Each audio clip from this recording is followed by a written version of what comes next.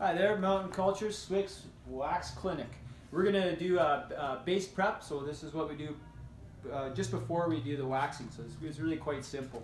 Um, Mountain Cultures, we have a few things that we uh, we, we, need to, to have uh, for the base prep. Uh, this is post waxing, uh, pre waxing. Sorry. Um, we're using uh, Fibertex.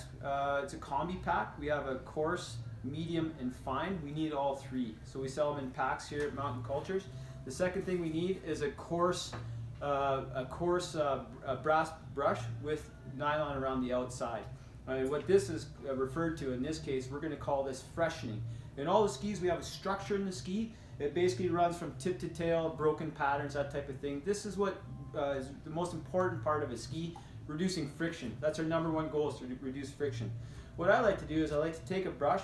Normally I'll draw an arrow on that brush. Make sure the brush that you purchase only travels one direction the entire time that you have it. Um, with this with this ski, I'm gonna basically I'm gonna secure it to my vices. We sell a really nice, uh, really economical helium vise here by Swix. It's a, it's a it's a great vise, really good for the free ride skis. All the park guys really like it too. Um, we're going to take the the uh, the uh, the actual um, the, the brush here, and basically I'm going to work tip to tail now. I know when, when I was doing the sharpening part, I said you could go either way. This time I really only want you to go tip to tail, even with with snowboarding. And snowboards, we do sometimes we do like a crisscross fashion, but in the skiing, we're just going to take our brush and we're basically just working that ski tip to tail, secure to the vise, and brushing that ski. We refer to this brushing as freshening. You're freshening the ski. You're getting all the dirt out of the structure of the ski, and you're basically prepping it to for the wax that we're gonna we're gonna do soon.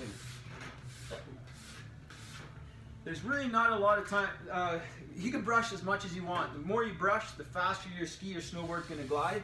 So really important that you continue this brushing until you get big, strong arms like me. Uh, that is the freshening aspect. After I do that, freshening with the, with the coarse brush, so here's what it looks like on the shelf. Uh, this one here that Jay has, it's a, a, a, stiff nylon and a coarse, coarse bronze. It's a really perfect brush. It's got that combi aspect to it. Then I'm going to take my Fibertex coarse. Uh, with my Fibertex coarse, I'm going to use the very brush that I, that I freshened with. I just stick it to it like that. And I'm just going to take that coarse brush and, and push, push as hard as I can on the ski and work that Fibertex right to the edge. Now I'll explain this.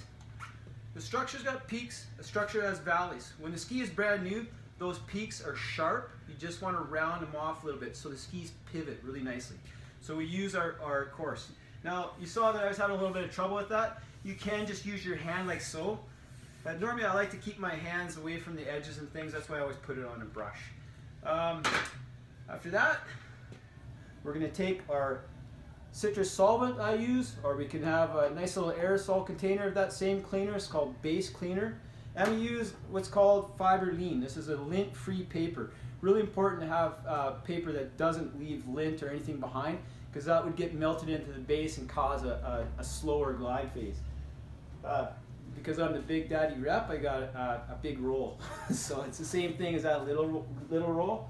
We're gonna take our base cleaner, this is after brushing, after the Fibertexing. And we're gonna put it on a lint-free paper and just basically clean that ski.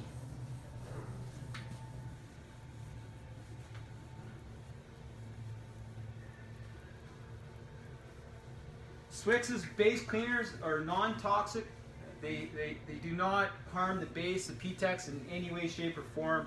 Uh, feel free to apply this uh, material to your, your ski or snowboard liberally if you want, but it's important before you wax just to let it dry out.